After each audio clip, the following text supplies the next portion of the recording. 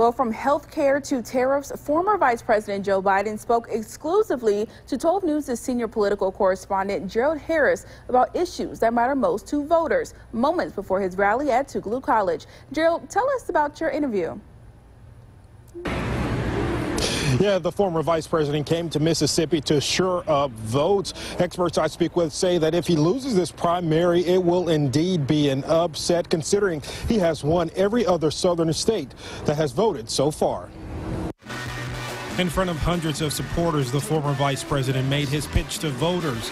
In a one on one interview, he outlined policy priorities, including insuring over 200,000 working Mississippians. Under the Biden proposal, I take Obamacare, reinstate all the cuts that the President Trump made in them, and now we call a public option, a Medicare like option. So anybody who qualifies for Medicaid would automatically be enrolled. He adds the proposal could not be stopped by Republicans from going into effect.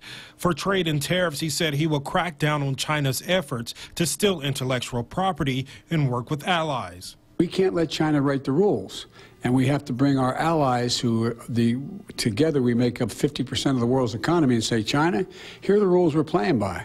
If you want to play that's how you got to do it. Biden says an infrastructure bill if he's elected will be a top priority investing billions into much needed repairs. We have high-speed broadband as part of that so rural areas are able to have the same opportunity you have in urban areas. We're going to make sure that we build back to in terms of you talked about flooding we build back to not what it was before build back to what it it is now. So there's a whole range of things we're going to do, and it's going to increase jobs. It's, these are going to be good jobs. It's going to increase economic growth and give everybody a fair shot. The former vice president says he will come back to Mississippi and compete if he gets the nomination. And Biden also says reforming the tax structure while giving the middle class a tax cut will also be one of his primary goals. Reporting at Tougaloo College, Gerald Harris, 12 News. Thank you, Gerald. And earlier in the day, Biden spoke to voters during a service at New Hope Baptist Church. 12 News' Alex Love has a reaction to his speech. If I'm the comeback kid, there's only one reason I've come back the African American community all around the country. Reflecting back on his years under President Barack Obama and his time as a senator, Vice President Biden praised the people of New Hope Baptist and others who've rallied behind him.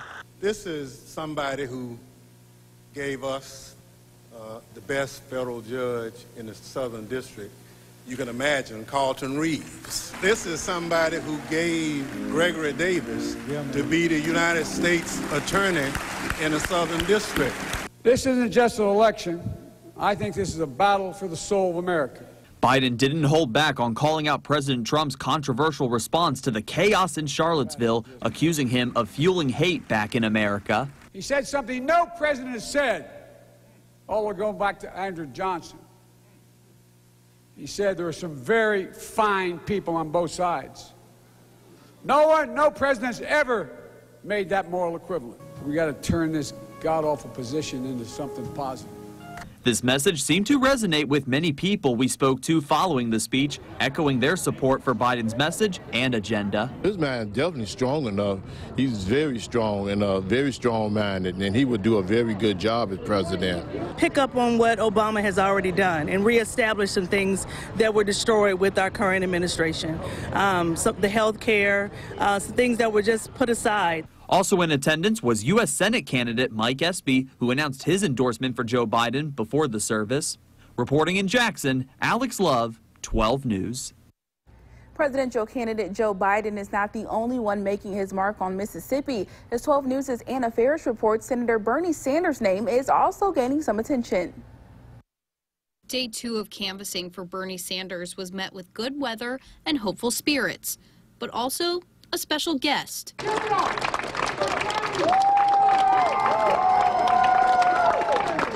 Actor Danny Glover met with volunteers to share why he stands with Sanders. I believe what's in our hearts, all of our hearts, is a program that Bernie Sanders has placed on the table for us around climate change, global warming, around equity. New volunteers came out to canvass neighborhoods and talk with volunteers ahead of Tuesday's primary. Elizabeth Dunbar came with her grandson, and they say it's all about the next generation. Just, just help the ones that are coming behind us.